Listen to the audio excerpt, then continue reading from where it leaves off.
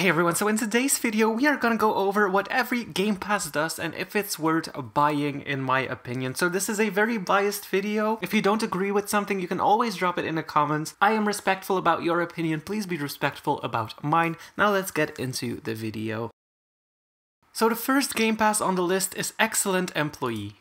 Description makes you a truly excellent employee, increasing both your earnings and how often you get promoted. Now what this does is if you go to work, let's say delivery person, that's what I like to do, so I'm not entirely sure if it increases your income directly or if they mean that when you level up faster you get more income with that because I haven't really noticed a jump in my income when I bought the Game Pass. Now I bought it in 2016 so it's been a while but I didn't really notice any jump in making money or whatever. Now as you can see I'm 71 out of 494 in level 22 pizza delivery. Now if I didn't have the Game Pass in pizza delivery and I delivered the pizza that I am delivering delivering right now, I would go to 73 of 494. But with the excellent employee game pass, I will go to 75, as you can see. So I get two more points, it doubles your points that you get to level up, and every time you level up, you get just a little bit more money, and you can go all the way up to level 50. So basically, you can reach level 50 twice as fast with the excellent employee game pass. So same with jobs where you would only get one point. Each time you level up, you get two points. Now let me find an empty shelf. I haven't done Stocker in so long, oh my goodness. So now I got got two points for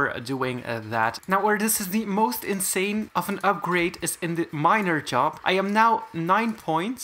If I mine a simple rock block, I go to 11, but then I, when I go down, let me just go down real quick. So I dug down a little bit, I found this, um, I don't know what kind of block this is, rusty block, but if I mine this, it will make me level up so fast. I'm 23 now, once this is done, I go to 27. So I got 4 points just by mining this block instead of 2. If you go down even more, you can get up to 8 points for each block you mine, which is incredible. And also, this miner outfit with this skirt looks amazing, you have to admit it.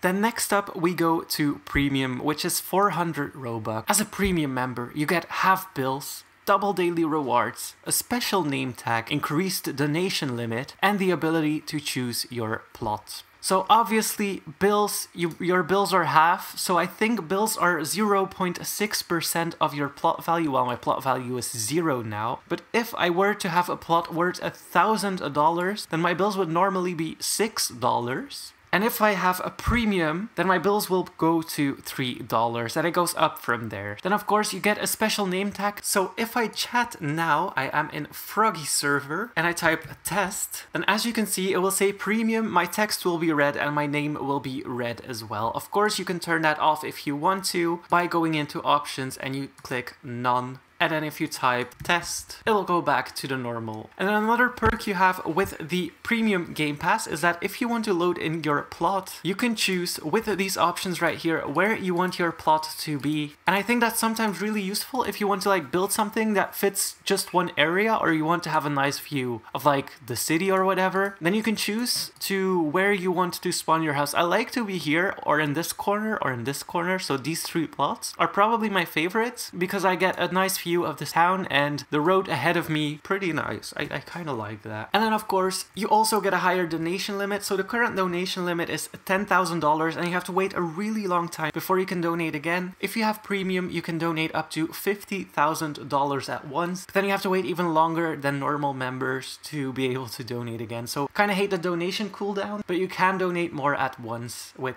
premium. Then next up we have multiple floors, which is $300, allows you to build up to 5 floors and make your house even more awesome. Now this Game Pass, you used to be able to only build up to 3 floors, and then they added 2 more floors, which is quite amazing. So what you can do with this Game Pass is pretty obvious. You build a wall, you can go up to a higher floor, you can build here, you go up to a higher floor, you can build here, and it goes on up to the 5th floor like that. So it basically gives you the ability to build multiple stories now I do think the first two stories at least should be free and not come in a game pass, but that's my opinion. I feel like a lot of people want to build two story houses but not more than that, so that would be like a perfect thing to add to the game for free. And then if you want to build a third, fourth, or fifth floor that you have to pay for the multiple floors game pass but i feel like the first two floors should at least be free in that one. And then a common question that comes with the multiple floor game passes is how you build your elevators. So you go into stairs and then you find your elevators over here. Now placing them will only give you the option of a two-story build. You press either b to go up. You can press it as many times as you want. It goes up to the fifth floor. And you press N on your keyboard to go back down again. So B to go up and N to go down. I'm not exactly sure how it works on mobile since I haven't really played on mobile. I should definitely make a video on that once. But this is how you do your elevator. So with B and N on your keyboard. But be careful as the price goes up when you go up and down. As you can see, it goes all the way up to 90,000 and this is for the cheapest standard elevator. If you get the most expensive one, one and you go up all the way, it goes up to $108,000. and then do we really have to do this? We go to unlocked stereo, which is 400 Robux. The description says, allows you to play sounds from the Roblox library in-game create custom playlists, access vehicle radios, and use the DJ booth at Beat. Now, this Game Pass as a lot of you know, I kind of hate this one, especially since it's 400 Robux. But what you can do is you can uh, place a table, yes, and then you go into electronics and you place your radio. You can also do that with a car. So let me add a car from my inventory. And then if you click on the use thingy, you can see that there's a list of music, but it also allows you to add a song right over here and enter a sound ID. Now, how you get these sound IDs, you go to Google and then you type, for example, Roblox sound ID or Roblox song ID, Roblox music codes. And then let's say I want to have Old Town Road, I can copy that and then I can paste it right into Bloxburg and it adds it to my list. But as you can see, as it isn't public, what happened is a lot of songs used to be on the Roblox catalog and there were a lot of copyrighted songs from, for example, Ariana Grande, Billie Eilish, stuff like that, but that's not actually allowed on the Roblox catalog.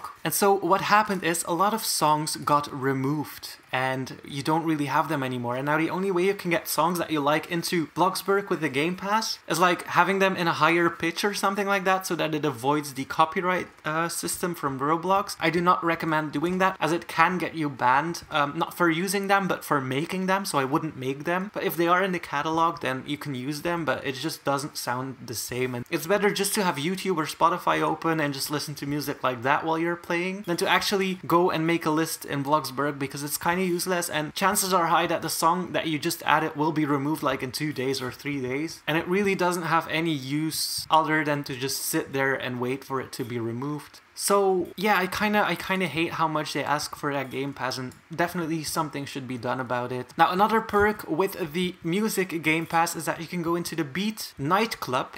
you can go behind the DJ booth, and then right here you can click this, and you can use, and you can play the music that works and that you have added into here, and play your own music for the entire disco. So that's a nice thing if you go here with friends that you can actually be a DJ here. But other than that, I don't think it's worth getting this Game Pass. Then next up is Advanced Placing for 200 Robux. And Advanced Placing allows you to place objects without collision checks in build mode, which means that they can be placed inside each other. Now this is a very useful one. If you go into build mode, you can see these two squares here with a dotted line. Normally you see this if you don't have the Game Pass. And if you then try and place something like you want a couch, but then you want to make this one an L-shaped couch, or you want to have like this inside it as a decoration. So as a lot of people do on Twitter and Instagram builds, you cannot do that. But if you have the advanced placement, you can click this and it turns the collision off with the dotted line. And then you can place this inside your couch and make a kind of like a bed couch combo. But it's not only for that, you can do a lot with that. And I feel like the most useful part of this is for adding details to your house, which is very important important. And I feel like people without the advanced placing Game Pass are so limited in their creativity that they cannot really do anything, which is kind of sad. If you don't have Robux but you're very creative, I kind of feel like you need this Game Pass to be able to get even more creative with your builds and to add details to them. And also when it comes to gardens and you want to place like a lot of bushes in one spot and you don't have the Game Pass, you really have to like get a big gap in between them. And with the Game Pass on, you can just like add them kind of like inside each other, which creates nice area areas like that. So I kind of feel sad for people who don't have the Game Pass because they are so limited into building what they want to build. And I don't know if it should be free or not, but I don't know. I would be such a bad developer, I would probably give everything for free, so it's good that I do YouTube and not developing. Then next up we have the large plot Game Pass, which is 250 Robux, and the description increases the boundary size of your plots to 50 by 50 instead of 30 by 30, making it possible to build even bigger houses.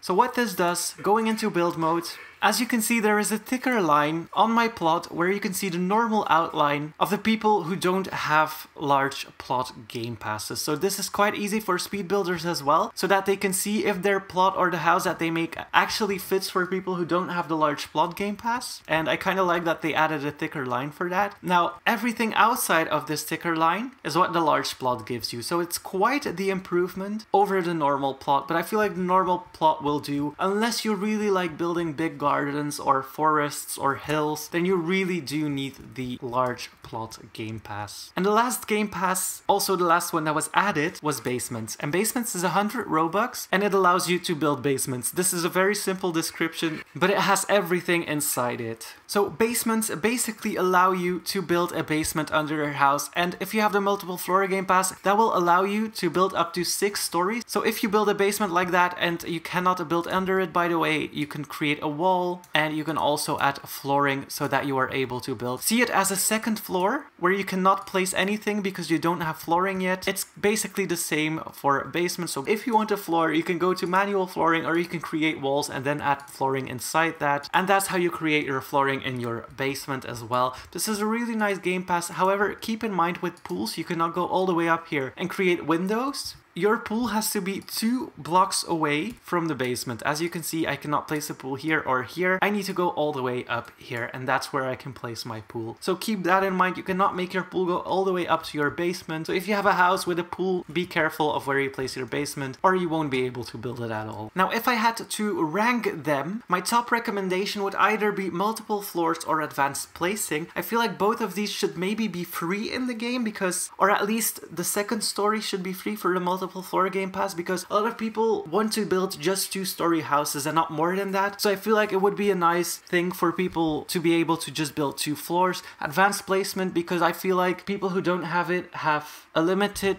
creativity because of it. And that's kind of sad. I want to see more creative builds and people without Robux are creative too and they really want to do something with their house. So I feel like maybe that should be free as well. But if I had to pick one, my favorite, then it would probably be advanced placement placement. Even if you can only build bungalows, I want to be able to place stuff inside each other and not worry about any boundaries or whatever. Then going to my third place would be excellent employee because you do get money faster by leveling up faster and I do think it's really important to get as much money in as little time as possible because you don't play the game to work, you play the game to build or roleplay or do anything else than working. And then a shared place, nah, not a shared place. Um, I'm gonna rank basements over large plot because there's just so much more that you can do with basements. And then my second to last place is a premium. Premium is 400 Robux, which is part of the two most expensive expensive game passes in the game, and I feel like the two most expensive game passes in the game are the most useless ones. So that's kind of oof. But premium, yeah, it's it's an okay game pass, but I feel like the name tag is just a status symbol and no one really cares about it. Also, half bills and double daily rewards, yes, that's fine. But I feel like making money is so easy at a certain point. Like when you level up a lot that you don't really care how high your bills are, you just hate them nonetheless. But of course, having them half is nice, but paying 400 Robux for just that is quite expensive. The best feature about Premium in my opinion is being able to choose where your plot is. And then of course my least favorite one, the unlocked stereo. Unlocked stereo, I just, it's so useless. You can go to YouTube and Spotify and get a way better quality audio than paying 400 Robux for a Game Pass that doesn't even work most of the times. So most of the stuff is just removed from, from Roblox anyways and adding it to your game will just say, oh, it, it's broken, it doesn't work, you can't load it in. So most of the music you can load in is either loud screaming or Christmas music, but other than that it's very useless. And the DJ booth is quite fun, but definitely not worth 400 Robux. So that's my opinion on the Game Passes. That is what they all do. I try to explain it as much as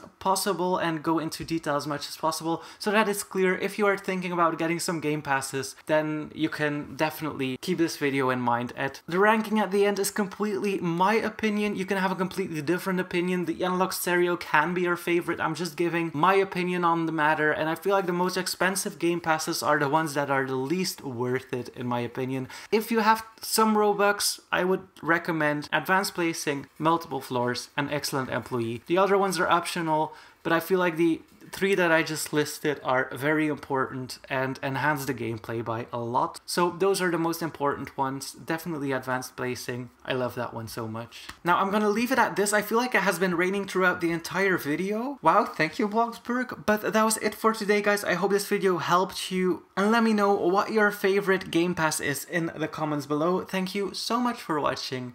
Hit that like button and please subscribe.